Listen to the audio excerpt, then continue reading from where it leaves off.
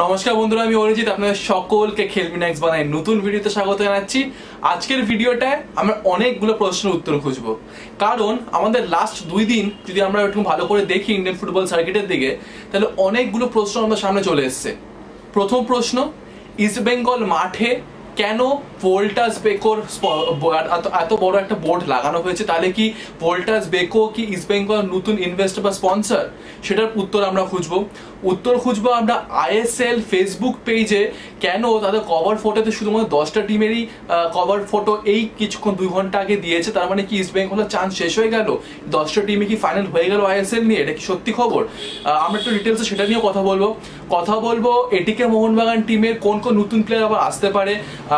Sheikh সাহিলের signing তো হয়ে গেছে, আপনারা সবাই জানেন কত বছরের জন্য হলো তার রিয়াকশন কি এই সাইনিংটার পর, তার কি মতামত সেটা আমরা আপনাদের বলব। তারপরে কোন নতুন প্লেয়ার আরও এটিকে মোহনবাগান সাইন করাতে পারে সেটা নিয়ে আমরা কথা বলব। কথা বলব মোহাম্মদ স্পোর্টিং এবং ভব- ভবানীপুর কীরকম ভাবে টিম গোছাচ্ছে আই লিগ সেকেন্ড ডিভিশনের জন্য, আর আদৌ আই লিগ সেকেন্ড ডিভিশন আর আইএসএল আই লিগ হওয়া সম্ভব কিনা নেক্সট ইয়ার সেটা নিয়েও কিন্তু একটা বড় প্রশ্ন চিহ্ন লেগে গেছে এখন, সেটা নিয়েও আমরা কথা বলব, বা সেই এই প্রশ্নগুলোর উত্তর কিন্তু আমরা খুঁজবো। মানে অনেকগুলো প্রশ্ন আমাদের সামনে আছে, সেগুলো প্রত্যেকটার উত্তর কিন্তু আমরা খুঁজবো এই ভিডিওতে। প্রথমেই আমরা নজর রাখব হচ্ছে ইস্ট বেঙ্গল ক্যাম্পের দিকে, কারণ ইস্ট বেঙ্গল ক্যাম্পে একটা নতুন খবর বা নতুন একটা ফটো ঘুরে বেড়াচ্ছে, যেটা ফটো আপনি দেখতে পাচ্ছেন যে ইস্ট বেঙ্গল ক্যাম্পে বা ইস্ট বেঙ্গল টেন্টের মধ্যে, মাঠের মধ্যে গ্যালারির পেছন দিকে ভোল্টাস বেকোর বড় একটা হোর্ডিং বা ব্যানার লাগানো আছে। তার মানে কি ইস্ট বেঙ্গলের নতুন স্পন্সর বা কো স্পন্সর হচ্ছে কি ভোল্টাস বেকো না ভোল্টাস বেকো ইস্ট বেঙ্গলের নতুন স্পন্সর বা ইনভেস্টার না। ভোল্টাস বেকো কিন্তু ইস্ট বেঙ্গলকে কিছু আর্থিক সাহায্য অবশ্যই করবে এই ব্যানার বা পোস্টার লাগাতে দেওয়ার জন্য। তাদের, তার কারণ হচ্ছে ভোল্টাস বেকো কিন্তু ইস্ট বেঙ্গল ক্লাবের টেন্ট স্পন্সর হয়েছে মানে মাঠের যে যা যাবতীয় যা খরচা ড্রেসিং রুমের খরচা হোক বা মাঠের পরিচালনায় যা খরচা লাগে সেইগুলো কিন্তু ভোল্টাস বেকো দেবে। এই আর্থিক চুক্তিটা খুব বেশি না, কয়েক লাখ টাকার হয়তো হবে, আর কয়েক লাখ টাকা তো ইস্ট বেঙ্গল পুরো ক্লাব চালাতে পারে না। কোটি কোটি টাকা খরচা ইস্ট বেঙ্গল ক্লাব চালাতে। শুধু মাঠের দেখভাল করার জন্যই কিন্তু ভোল্টাস বেকো বা মাঠ স্পন্সর আমরা বলব গ্রাউন্ড স্পন্সর ভালো কথা বলতে গেলে গ্রাউন্ড স্পন্সরই কিন্তু হয়েছে ইস্ট বেঙ্গলে ভোল্টাস বেকো কত বছরের চুক্তি বা ডিটেলস কিছু জানা যায়নি, কিন্তু আপাতত এটাই জানা গেছে। কালকে রাত থেকে অনেকগুলো ছবি আমরা ফেসবুকে দেখে আসছি সকালগুলো তো সেটা আরও বেশি ছড়িয়ে যায়, আরও বেশি ভাইরাল হয়ে যায়। তো অনেকের মাথায় সে প্রশ্নটা জেগেছিল যে ভোল্টাস বেকো কি তাহলে ইস্ট বেঙ্গলের স্পন্সর ফাইনাল হয়ে গেল স্পন্সর বা ইনভেস্টর হয়ে গেল? না, সেটা কিন্তু না। ভোল্টাস বেকো ইস্ট বেঙ্গলের স্পন্সর হয়নি, কিন্তু ইস্ট বেঙ্গল ক্লাব টেন্টে গ্রাউন্ড স্পন্সর হয়েছে মানে ড্রেসিং রুম হোক বা বাকি যা মাঠ সংক্রান্ত যা খবর, খ- খরচা পাতি যা লাগবে, সেটা হয়তো ভোল্টাস বেকো কিছু সাহায্য করবে। আচ্ছা এটা ছিল হচ্ছে ইস্ট বেঙ্গল টেন্টের খবর। এবার ইস্ট বেঙ্গল ইনভেস্টার ইস্যুতে কি খবর সেটা একটু আপনার দিদি জাস্ট ছোট্ট একটা আপডেট দেবো। ইস্ট বেঙ্গল ইনভেস্টার আপডেট কিন্তু নতুন কোনো খবর নেই, কিন্তু লাস্ট আমি অনেক ধরেই বলে আসছি যে ইস্ট বেঙ্গল হয়তো স্পন্সরের সাথে কিছু ফাইনাল কথাবার্তা অনেকটাই এগিয়েছে, কিন্তু এখনও কিন্তু চুক্তি হয়নি কে স্পন্সর বা না স্পন্সর জানা যাচ্ছে না। কিন্তু অনেকগুলো সোর্স থেকে জানা যাচ্ছে কথাটা কিন্তু অনেকটাই এগিয়েছে। এবার ফাইনাল হওয়া আর কথা অনেকটা এগোনোর মধ্যে কিন্তু আকাশের পাতাল তফাৎ। সেটা আমরা প্রসূন মুখার্জির কেসটাও দেখিয়েছি। কথা অনেকটা এগিয়েও কিন্তু কথা অনেকটা পিছিয়ে এসছে বা কথা শেষ হয়ে গেছে। তো সেখানে দাঁড়িয়ে এখন কি হয় সেটাই দেখার, কিন্তু কথা চলছে। দেবব্রত সরকার কিন্তু লাস্ট দুই দিন আগেও সে পরিষ্কারভাবে জানিয়ে দিচ্ছে প্রেসের সামনে এসে ইস্ট বেঙ্গলের আইএসএল খেলার চান্স কিন্তু এইটি টু নাইনটি পার্সেন্ট আর আমরাও তাই বলছি ইস্ট বেঙ্গলের হাতে কিন্তু এখনও এই সপ্তাহটা টাইম আছে। আর যদি ইস্ট বেঙ্গল একটুখানি তা- তাড়াহুড়ো করে বা ইস্ট বেঙ্গল যদি একটুখানি গুছিয়ে নিতে পারে সব জিনিসপত্র, তাহলে কিন্তু আইএসএল খেলার সম্ভাবনা কিন্তু প্রবল আছে এখনও ইস্ট বেঙ্গলের জন্য। turno এবার একটু আইএসএল এর আপডেটটা দিয়ে আমি মোহনবাগান বা এটিকে মোহনবাগানের দিকে যাব, কারণ আইএসএল এর কাছ থেকে দুটো আমরা খবর পাচ্ছি। প্রথম খবরটা হচ্ছে আইএসএল ও কিন্তু একটুখানি অপেক্ষা করছে ইস্ট বেঙ্গলের জন্য, বা অপেক্ষার সময় পেয়ে যাচ্ছে ইস্ট বেঙ্গল অপেক্ষা করতে হচ্ছে আইএসএল কে ইস্ট বেঙ্গলের জন্য। কারণটা আমি আপনাদের বলে দিই ইস্ট বেঙ্গল আইএসএল খেলবে কিনা, সেটা কিন্তু ইস্ট বেঙ্গলের আগস্টের প্রথম দিকে জানার কথা ছিল, কিন্তু জানাতে পারেনি। আর সেখানে দাঁড়িয়ে আইএসএল কিন্তু ঠিক করেছিল যে সাতই আগস্ট তারা জানিয়ে দেবে, বা আইএসএল কমিটি এফএসডিএল জানিয়ে দেবে সাতই আগস্ট যে কোন ভেনিউতে কটা টিম মিলে হবে সেটা তারা জানাতে পারেনি। তারপরে সেটা শিফট হয় দশ তারিখে মানে কাল আগামী বিগত কাল ডিক্লেয়ার করার কথা ছিল যে কি হবে বা কোন মাঠে হবে, কত টিম নিয়ে হবে, কিন্তু সেটাও তারা ডিক্লেয়ার করতে পারেনি। কারণটা কি? কারণটা হচ্ছে তারা ইন্ডিয়ান গভর্নমেন্ট থেকে কোনো গ্রিন সিগন্যাল এখনও পায়নি। ইন্ডিয়ার ইন্ডিয়াতে করোনা ভাইরাস কেস কিন্তু লাফি লাফি বাড়ছে। প্রত্যেকটা স্টেটে এখন লাফি লাফিয়ে বাড়ছে। গোয়া হোক, কেরালা হোক, প্রত্যেকটা স্টেটে কিন্তু করোনা ভাইরাস বাড়ছে সেখানে দাঁড়িয়ে কিন্তু এই আইএসএল বা আই লিগ করা কিন্তু একটা প্রশ্ন চিহ্ন লেগে গেছে। গভর্নমেন্টের কাছ থেকে গ্রিন সিগন্যাল পেতে হবে, আর সেটার জন্য কিন্তু এখন অনেক লম্বা প্রসেস আর যতদিন এই প্রসেসটা কমপ্লিট হবে, যতদিন না গ্রিন সিগন্যাল গভর্নমেন্টের কাছ থেকে পাবে, ততদিন কাছে ইস্ট বেঙ্গল হাতে সময় আছে। সেটা এই সপ্তাহ হতে পারে বা পরের সপ্তাহে এন্ড অব্দি কিন্তু ইস্ট বেঙ্গল হাতে সময় থাকতে পারে। আচ্ছা আইএসএল ফেসবুক পেজে আপনারা যদি দেখে থাকেন, আপনারা দেখতে পাচ্ছেন এখানে যে একটা কভার পিকচার দেওয়া হয়েছে জাস্ট দুই তিন ঘণ্টা আগে ভিডিও যখন করছে তার দুই তিন ঘণ্টা আগে।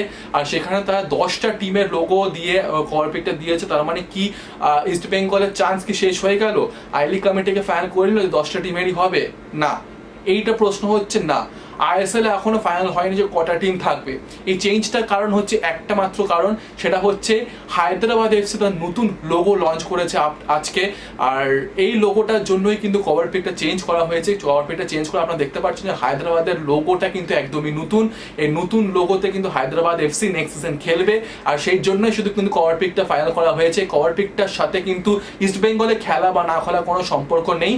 এখনও কিন্তু ইস্ট বেঙ্গলের চান্স আছে। যতদিন না আমরা ভেনিউ বা কটা টিম খেলব? আইএসএল কমিটির কাছ থেকে যখন জানতে পারছি। ততদিন কিন্তু ইস্ট বেঙ্গলের কাছে সময় আছে। আর ততদিন কিন্তু ইস্ট বেঙ্গলের সাথে এরকম রিউমার বা অনেক খবর আমরা কিন্তু শুনতে থাকব। কিন্তু এটুকু বলতে পারি যে আইএসএল এ কটা টিম খেলবে? আর এখনও অবধি যখন আমি ভিডিও বানাচ্ছি ফাইনাল হয়নি। আইএসএল এর একটা কমিটি নয় জনের একটা, নয় কি দশ জনের টিম তৈরি করে গোয়াতে পাঠিয়েছে। গোয়াতে গিয়ে তারা মাঠগুলো ভালো করে যাচাই করে দেখবে। গ্রাউন্ডগুলো ভালো করে দেখবে গভর্নমেন্টের সাথে কথা দেখবে। এই নটা, নয় কি দশ জনের এই টিমের মধ্যে কিন্তু অনেকটা অনেক ডিপার্টমেন্টের লোক আছে, যেমন সিকিউরিটি ডিপার্টমেন্ট হোক গ্রাউন্ড ফেসিলিটি খতিয়ে দেখার লোক ডক্টরের টিম আছে ব্রডকাস্টিং এর টিম আছে। তো এরকম অনেক টিমের লোক পাঠানো হয়েছে, তারা একটুখানি খতিয়ে দেখবে যে কি অবস্থা বা করা সম্ভব কিনা ওখানে আইএসএলটা এত ভাস্ট একটা লিগ মানে এত, এতগুলো টিম নিয়ে এত দিন ধরে ওখানে থাক থেকে লিগটা করা সম্ভব কিনা সব খতিয়ে দেখবে। প্লাস গভর্নমেন্টের কাছ থেকে কথা বলবে গভর্নমেন্টের কাছে কথা বলে কিন্তু তারা অফিসিয়ালি অ্যাপ্রুভ করতে চাইবে যে আইএসএলটা যেন গোয়াতেই করা যায়। চেষ্টা কিন্তু করছে আইএসএল যাতে এই সপ্তাহের মধ্যে ফাইনাল হয়ে যায় যে ভেনিউ আর কটা টিম কিন্তু এখনও কিন্তু গভর্নমেন্টের কাছ থেকে গ্রিন সিগন্যাল পাওয়া যায়নি সেটার জন্য কিন্তু অপেক্ষা করতে হবে আরও কিছুদিন। চট করে আমরা নজর রাখব হচ্ছে এটিকে মোহনবাগানের দিকে, কারণ এটিকে মোহনবাগান কিন্তু কালকে সাইনিং কনফার্ম করে নিয়েছে। শেখ সাহিলের শেখ সাহিল কাল পরশু দিন হয়তো কনফার্ম করেছে। শেখ সাহিল কিন্তু এটিকে মোহনবাগান টিমে দু হাজার তেইশ অবধি থেকে যাবে। তিন বছরের নতুন কন্ট্রাক্টে সাইন করিয়েছে। এই কন্ট্রাক্টটা কিন্তু মোহনবাগানের যে কন্ট্রাক্ট ছিল, আমার চার বছরের চুক্তিতে লাস্ট সিজন মোহনবাগানে সাইন করেছিল। তার মধ্যে এক বছর সে খেলে নিয়েছে ইতিমধ্যে, আর সেই কন্ট্রাক্টটাই কিন্তু এটিকে মোহনবাগানে শিফট হয়ে গেল। মানে তিন বছর যে চুক্তিটা ছিল মোহনবাগানের সাথে, সেটা কিন্তু কন্টিনিউ ফরওয়ার্ড হবে। আর এই সাইন করার পরে কিন্তু শেখ সাহেব জানিয়েছে, দুটো জিনিস জানিয়েছে, খুব উল্লেখযোগ্য জিনিস। সেটা হচ্ছে, মোহনবাগান থেকে তার জার্নি শুরু, সেই জন্য মোহনবাগানের সাথেই আরও বেশি দিন থাকতে চায়। যেভাবে তাকে হেল্প করেছে, সেই জন্য মোহনবাগানের সাথে আরও কিছুদিন আর সেই জিনিসটাই আর ফিরিয়ে দিতে চায় মোহনবাগানকে শেখ সাহেব এটা জানিয়েছে, আর সেকেন্ড এটা জানিয়েছে যে তার এই সিজন লক্ষ্য ছিল আইএসএল খেলার। আর মোহনবাগানের থেকেই যখন সে অপশন সে পেয়ে গেছে, সেই জন্য সে হাতছাড়া করতে চায়নি। কিন্তু একটা প্রশ্ন চিহ্ন থেকে যাবে শেখ সাহিল যদি কি, এটিকে মোহনবাগান টিমে থাকলে কি সে রেগুলারলি প্লেইং টাইম পাবে? সেরকম কি প্লেইং টাইম পাবে যেটা সে বাকি কোনো আই লিগ বা আইএসএল টিমে পেতে পারতো? সেটা কিন্তু একটা প্রশ্নচিহ্ন থেকে যাবে। আমরা হাওয়াসের টিমে দেখেছি মিডফিল্ডে সেন্ট্রাল মিডফিল্ডে তিনজন প্লেয়ার নিয়ে খেলে, যেখানে দুটো ফরেনার থাকে আর একটা ইন্ডিয়ান প্লেয়ার থাকে। আর সেখানে দাঁড়িয়ে কিন্তু এটিকে মোহনবাগানের কাছে অলরেডি এক্সপিরিয়েন্স অপশন আছে, যেখানে প্রণয় হালদার আছে প্লাস মাইকেল রিগেন আছে। সেখানে শেখ সাহিলও কিন্তু খুবই ভালো একটা অপশন হয়ে যাবে, কিন্তু তাকে কি সেরকম চান্স পাবে? আমরা দেখেছি জয়স আস্টিন ইস্ট বেঙ্গল থেকে কীরকম ফর্মে ছিল ইস্ট বেঙ্গল থেকে এটিকে মোহনবাগান সাইন করার পরে কিন্তু সেরকম মানে তখনকার এটিকে টিমে সাইন করার পরে সেরকম প্লেইং টাইম সে পায়নি। এরকম কি শেখ সাহিলের সাথেও হবে? নাকি শেখ সাহিলকে অন্য কোনো ক্লাবের লোন করে দেওয়া হবে সেটা নজর রাখতে হবে, কিন্তু আপাতত এটাই খবর যে শেখ সাহিলকে সাইন করিয়ে নিয়েছে দু হাজার তেইশ অব্দি শেখ সাহিল থেকে যাবে। তার সাথে সাথে কিন্তু এটিকে মোহনবাগান আরও কিছু প্লেয়ার সাইন করাবে specially Indian player Subhasish Bose কিন্তু নেক্সট লিস্ট হচ্ছে নেক্সট প্লেয়ার যাকে কিন্তু এটিকে মোহনবাগান সাইন করাতে পারে।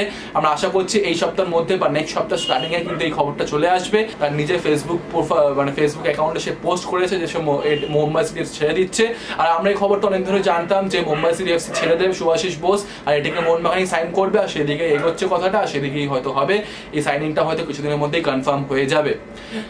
এরপরে আমরা নজর রাখব হচ্ছে মহামডার্ন আর ভবানীপুরের দিকে। মহামডার্ন কিন্তু এরকম কথা ছিল যে আগস্টের দশ তারিখের মধ্যেই কিন্তু তারা প্র্যাকটিস স্টার্ট করে দেবে, কিন্তু সেটা সম্ভব হলো না। কারণটা সেই আবার করোনা ভাইরাসের জন্য। করোনা ভাইরাসের জন্য সরকার থেকে গ্রিন সিগন্যাল পাওয়া যায়নি প্র্যাকটিসের জন্য, আর সেজন্য তারা প্র্যাকটিস স্টার্ট করতে পারেনি। কিন্তু আই লিগ সেকেন্ড ডিভিশন হওয়া একটা জটিলতা দেখা দিয়ে সেটা নিয়ে আমি একটু পরে কথা বলছি। তার আগে ভবানীপুরের খবর দিয়ে দিই আমি। ভবানীপুরে কিন্তু বেশ ভালো করে টিম গোছানোর চেষ্টা করছে। দুটো প্রধান মানে দুটো টিম কলকাতার যারা আই লিগ সেকেন্ড ডিভিশন খেলবে, তার দুটো টিমে কিন্তু ভালোভাবে টিম গোছানোর চেষ্টা করছে। আমরা দেখেছি ইতিমধ্যে মোহাম্মদ স্পোর্টিং বেশ ভালো ভালো, উল্লেখযোগ্য প্লেয়ার সাইন করে নিয়েছে। আর এখন ভবানীপুরে কিন্তু বেশ ভালো নাম করা দুটো বিদেশি স্ট্রাইকার সাইন করে নিল। দুটোই কলকাতা শুধু না ইন্ডিয়ান ফুটবলে বেশ পরিচিত মুখ। একটা হচ্ছে ক্রোমা ক্রোমা সাইনিংটা অনেক দিন আগে হয়ে গেছে, প্রায় তিন সপ্তাহ আগে মানে দুই সপ্তাহ আগে হয়ে গেছে। আর আজকে আজকে বলব না, দুই দিন আগে কনফার্ম হয়েছে যে আরেকটা প্লেয়ার সে হচ্ছে ফিলিপ আর্টজা। ফিলিপ আর্টজা কিন্তু দুর্দান্ত স্ট্রাইকার আমরা সবাই জানি সে কীরকম গোল স্কোরার মোহাম্মদ স্পোর্টিং থেকে তার ইন্ডিয়ান ফুটবলের ক্যারিয়ার স্টার্ট হয়েছে। আর কীরকম দুর্দান্ত মোহাম্মদ স্পোর্টিং এর তার পারফরমেন্স ছিল, আমরা সবাই জানি। সেখান থেকে সে লাস্ট সিজন নেরোকা এফসির হয়ে আই লিগ খেলে। আর আই লিগে মাত্র দশটা ম্যাচে almost same same number of goals করেছিল অ্যাসিস্টও ছিল তার নামে। মানে নেরোকা এফসিতে যে স্ট্রাইকিং প্রবলেমটা হচ্ছিল, এই ফিলিপ আর্টস আসার পরে কিন্তু স্ট্রাইকিং প্রবলেমটা একদম মিটে যায় আর অসাধারণ পারফরমেন্স ছিল নেরোকা এফসি জার্সির পরে। তো সেই ফিলিপ আর্টজাকে কিন্তু ভবানীপুর সাইন করে নিল আর আমরা কিন্তু ভবানীপুরে ক্রোমা আর ফিলিপ আর্টসের জুটি দেখতে পারব। মানে কীরকম রং খেলায় বা কীরকম পারফরমেন্স হয় দুটো জুটি, আমি কিন্তু দেখার জন্য খুব উদ্গ্রীব হয়ে বসে থাকব। আর এই দুটো প্লেয়ারের সাথে শুধু কিন্তু একটা ইন্ডিয়ান প্লেয়ার একটা ইন্ডিয়ান ডিফেন্ডার সাইন করে নিল। এটা ভবানীপুর সেটা হচ্ছে ইস্ট বেঙ্গল থেকে যে একটা সাইন করে নিল, সেটা হচ্ছে মনতোষ চাকলাদার। এই মনতোষ চাকলাদার কিন্তু লাস্ট সিজন ইস্ট বেঙ্গলে ছিল। লাস্ট সিজন ইস্ট বেঙ্গল সেরকম চান্স না পাওয়ার কারণে কিন্তু কোনো অপশন খুঁজছিল। আর সে সেটা পেয়ে গেল, সেটা নেক্সট সিজন খেলবে। আই লিগ সেকেন্ড ডিভিশনে ভবানীপুর জার্সি পরে। এবার আই লিগ সেকেন্ড ডিভিশন কবে থেকে হবে সেটাও নিয়ে কিন্তু একটা জটিলতা দেখা দিয়েছে। শুধু আই লিগ সেকেন্ড ডিভিশন না আই লিগ আর আইএসএল নিয়ে তো জটিলতা আছে, কিন্তু আই লিগ সেকেন্ড ডিভিশন আরেকটুখানি বেশি জটিলতা সৃষ্টি হয়েছে। কারণ আই লিগ সেকেন্ড ডিভিশনে যে টিমগুলো আছে সেগুলো কিন্তু এতটা এখনও প্রিপেয়ার্ড হয়নি। আর কলকাতার দুই, দুটো টিম ভবানীপুর আর মোহাম্মদ স্পোর্টিংকে দেখছি, তারা বেশ ভালোভাবে টিম গুছিয়ে নিয়েছে। কিন্তু বাকি যে আই লিগ সেকেন্ড ডিভিশনের টিম আছে, আমি আইএসএল এর সেকেন্ড টিমগুলোর কথা বাদ দিচ্ছি। আই লিগ সেকেন্ড ডিভিশনের বাকি টিমগুলো আছে, যেমন আর এফসি গারওয়াল এফসি তারপরে আরও যে টিমগুলো আছে লোন স্টার কাশ্মীর এই টিমগুলো কিন্তু তার টিম এখনও গোছাতে পারছে না। তার সমস্যা হচ্ছে, আর্থিক সমস্যা হচ্ছে প্লেয়ার পাওয়া নিয়ে সমস্যা হচ্ছে।